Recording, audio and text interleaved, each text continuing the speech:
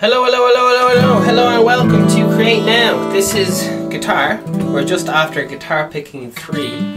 Today's date is the, the time is twelve nineteen, and the date is the fifth of it's Tuesday, and it's the fifth of May, twenty twenty. That's pretty cool. So what have we got for you today? Finger picking. More finger picking. What? What? Yeah. So the main ones we we need to work, think about are just count to four. So thumb is one, index finger is two. This is in relation to counting. So one, two, three, four.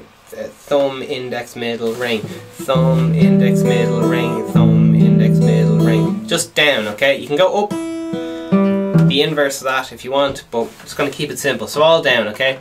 Some of the easiest chords we can do are E,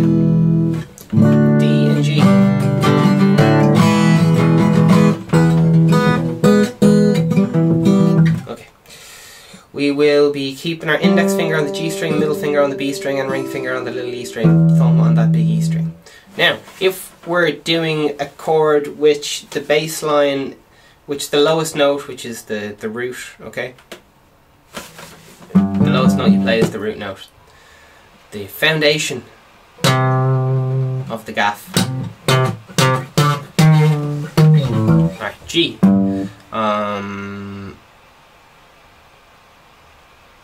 we're gonna move the root note around to do inversions. Okay? Also could be thought of as a walking bass line. So how we did that was we moved our thumb. We kept up the one, two, three, four, which is thumb, index, middle, ring. One, two, three, four ideally a lot slower than that. One, two, three, four. And every time we said one, to keep things a little bit interesting, we move the lowest note around, which creates an inversion. So instead of just having a texture like this, you could have a texture like this. Or this or this. so, here's an example. One, two, three, moving the bass note It sounds better if you put emphasis on the beat one, just to help it sing out a bit more. It's a little bit more impressive in the short term anyway. Just helps you keep track.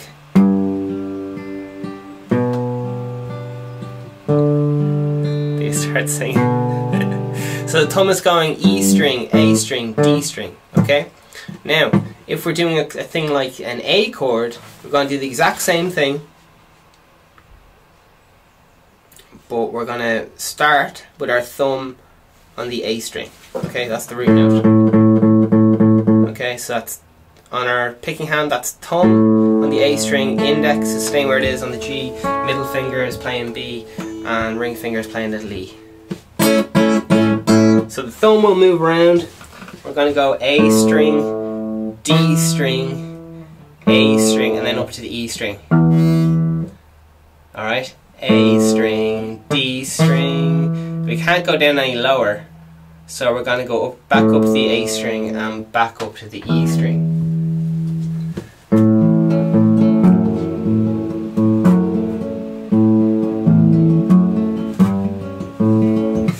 Um, alright, that's the that's putting the fifth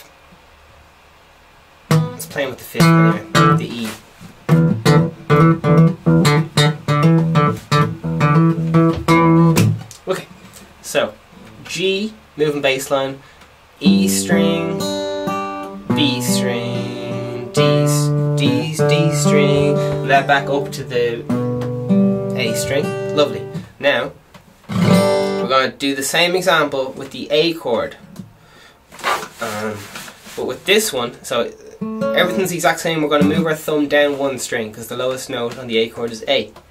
We're going to create different inversions, even though they're kind of the same ish. I won't get into it. the fifth above and the fifth below. Alright, so we're going to go root note, fifth above, root note, fifth below. Alright, here we go. two, three, four. One, two, three, four. D string, two,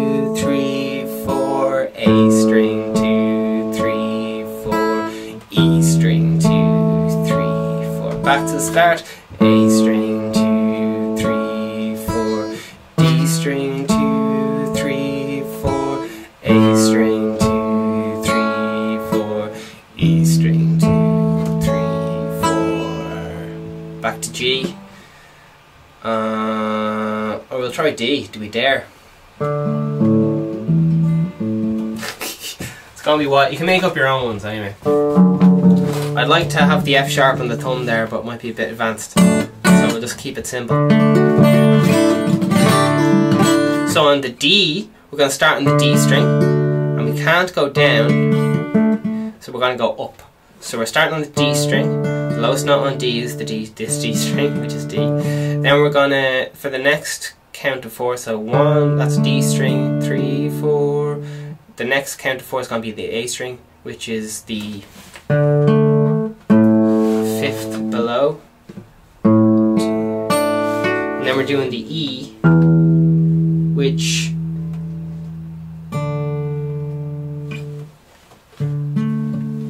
about to burst the brain cell here. I think it's like a. It's not sus two. It's a fucking. E and A. E and A. It's the fifth. D and A. Sorry. I'm going blank. It's a sus two.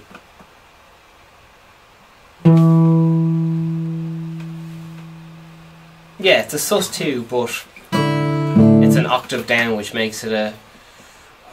What's the opposite of a ninth minus a second? Uh, I'm going blank, but it's uh, it puts an e in the base, so it would be e slash a. Okay, if you're writing this in your copybook, so we're changing we're changing the root note. Okay, from an A chord, one, two, that's the A string, D string, which is now the fifth above, back to the A string, which is the root note, and then we're going to a sus two suspended second, um, which is the E, and then we're going back to A. And we get a little bit. Um, Sorry, I changed, did the wrong chord there. Went straight on the D chord. Yeah, but the, the sus2 stay, stays. Sure, we'll, we'll have a little gook, A little look. What's the exact terminology here? Um, a to E is that sus2? I don't know. I don't know how to type this into Google. E sus2. Uh, e plays E suspended second. Uh, Alright. I'm confused. Back to D. D string two, three, four, A string two, three, four, E slash A. And that's why the E sounds a bit off. It's like, oh jeez, what's going on there? It's not in the one, three, five. So if you can, if you're feeling very cheeky, put your thumb in there. You can, on the second fret. So. That's a proper. Putting the third in the bass.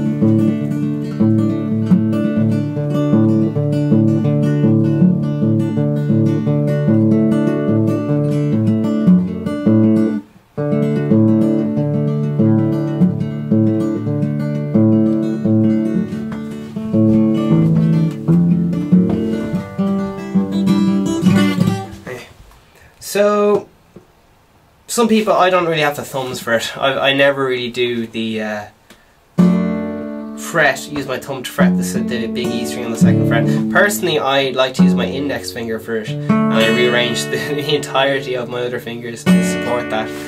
Um, uh, it's just, it's just not for me. The whole thumb. I, saying that, I do it all the time. I'll only do it in a passing note really, like for a second.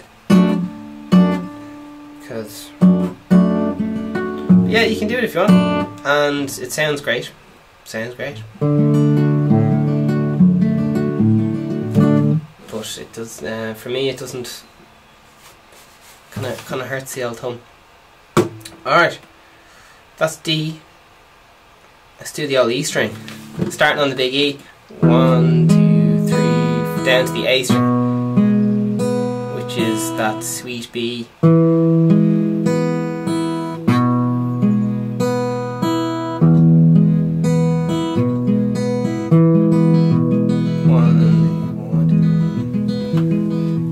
Okay, happy days. And the opposite of that, one, two, three,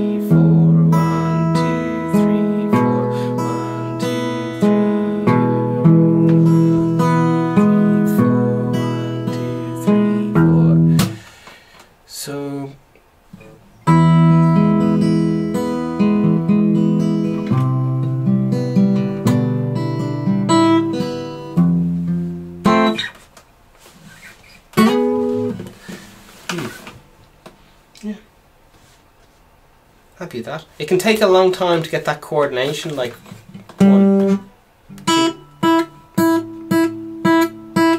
They get that synced up with their get synced up with your body.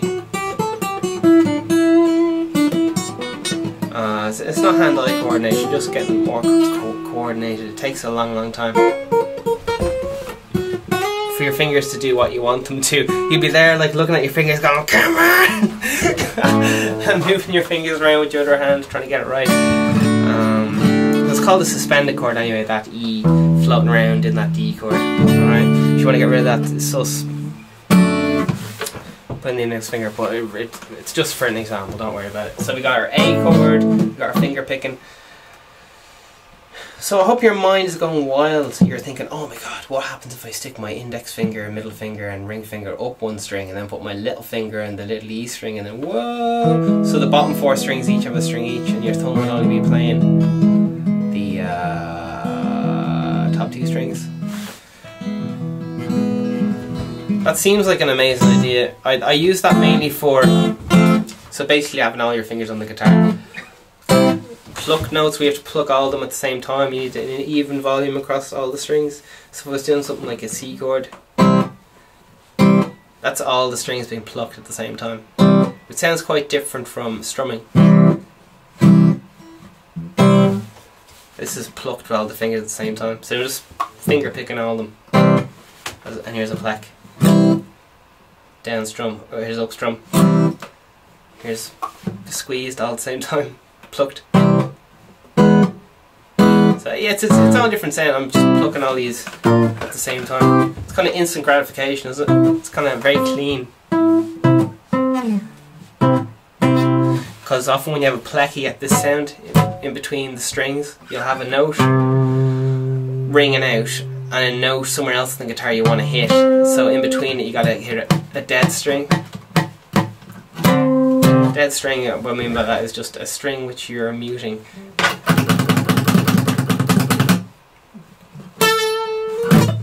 some big recordings like Def Leppard and all them, the big boys, they got down to recording chords but just string by string. How good is that? To get rid of all this. Uh, for a lot of octave chords.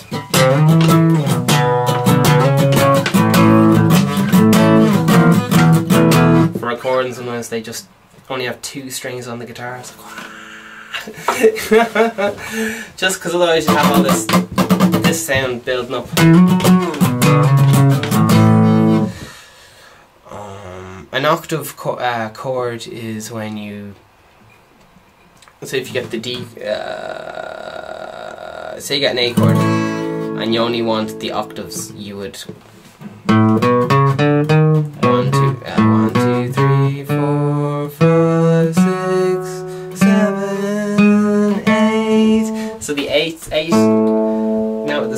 where the octave repeats. The major scale, anyway. Um, so you play those two notes together, the one and the eight of the scale, and that will give you an octave, like this. Go to any open string and then fret the 12th uh, note on it. So here's the little E, here's the B. I'm fretting the open B string and the, uh, the 12th fret. If you're ever doing intonation, checking how in tune your guitar is with itself, you'll need to know how close these two sounds are. Oh gee, that's awful. Mm. Mm, that's not too bad. It's a bit off. Mm. oh, the E is not too bad at all. Hmm. So you can, when you're, you know, getting out your, when you start getting, getting in, into guitar and you start looking after your instrument, filing it down, putting getting all the the lovely files for the frets, file down your frets and all this stuff. Um, and you're adjusting your truss rod, uh, depending on the temperature, the weather, and all this messing. You will um, start to want to change the intonation of your guitar so it's more in tune the whole way across the instrument. Because often you'll be playing your chords, you know, like open chords, which means there's open strings ringing out, and then you'll want to play something else up the neck. It sounds fine actually. But normally that would this would be quite out of tune like or something like that.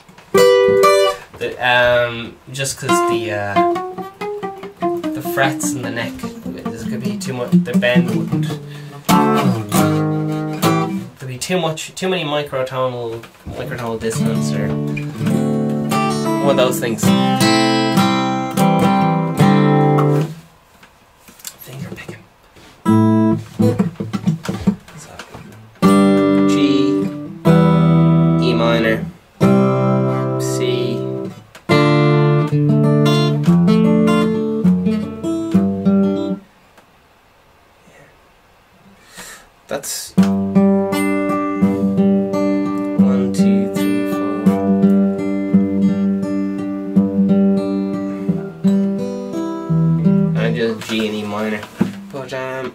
That's definitely the best thing for you to be at.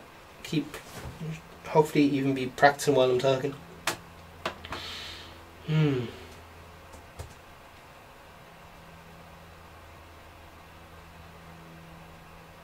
We're gonna go over the G major chord scale.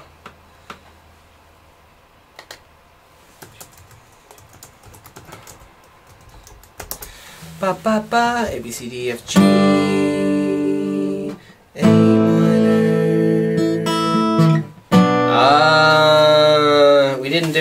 how to do B minor yet. We're still learning our bar chords. Hmm.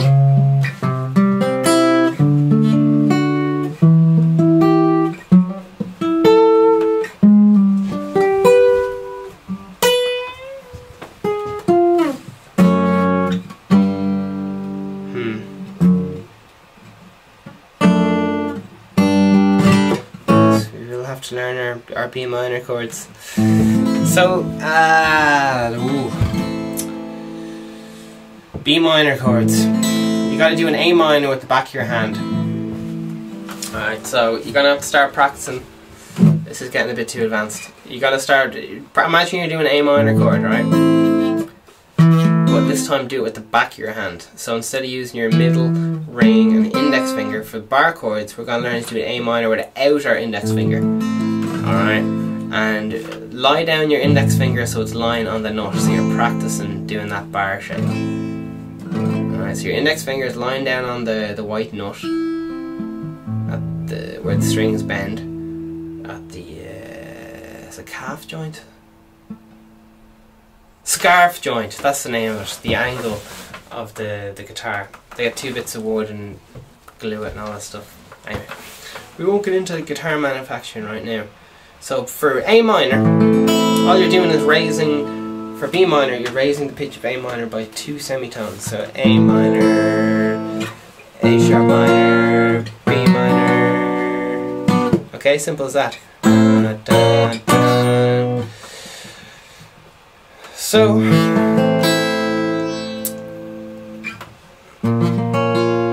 this is it. I'm just tipping away at it because it's going to take you forever to learn bar chords because it's it's hard going. Practice doing A hmm. minors with the the back of your hand without the index finger. and then practice doing E's. So I'm moving the A minor to E, A minor, E, A minor, E, A minor, E, A minor. Okay. Okay. I'm gonna give you two things to play around with while you're, because you, maybe you're bored off your head or something. I don't know. Uh, if you want something to sound a bit Spanishy, just do an E chord and bring it up one semi one fret. Okay. Same thing with uh, a, a, an A chord. Okay. So do an E chord with the back of your hand. So we're using our middle finger on the A string, little finger on the D string, middle finger on the G string. So we're strumming away. Now I'm going to bring it up one semitone. Here we go. Oh, you hear that?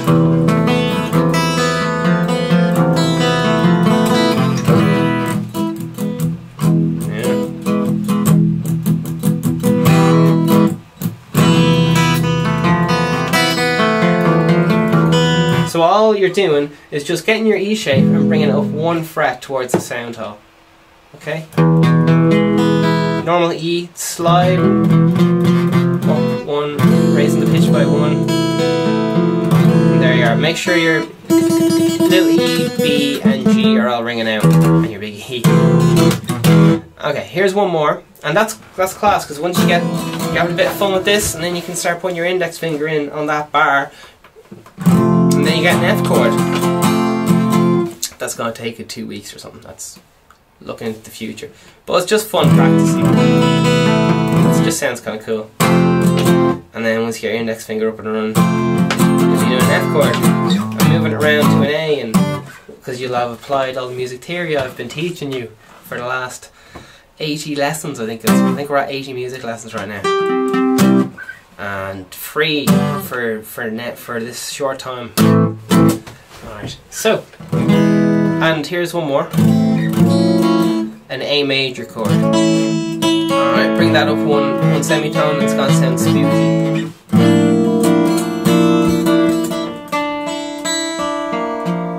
That's the kind of chord they use and we'll see after the break. I know. Who did it? You know, the kind of cop dramas after the break. It's kind of unsettling.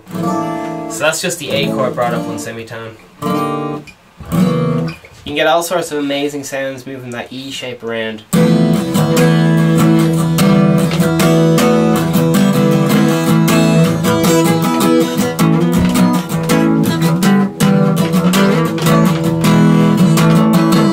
So I'm just moving that E shape around the guitar. That would be called open tuning.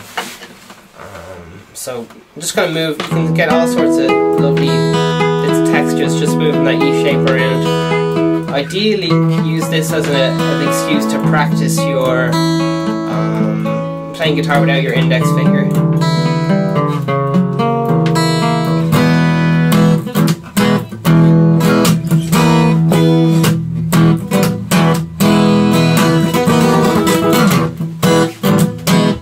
E chord. Then you can incorporate that index finger. You got all your bar chords.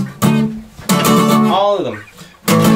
A few weeks down the line, when you can practice switching between an A minor and an E, uh, an A major and an E chord, in a few weeks time, um, you'll know all your chords and all the positions because you can go. Um, Alright, getting off topic, so I'll leave it there. So, we talked a little bit about went over finger picking, a little bit more bar chords, um, and some little interesting things, to keep you going. Alright, have a great one. Stay focused.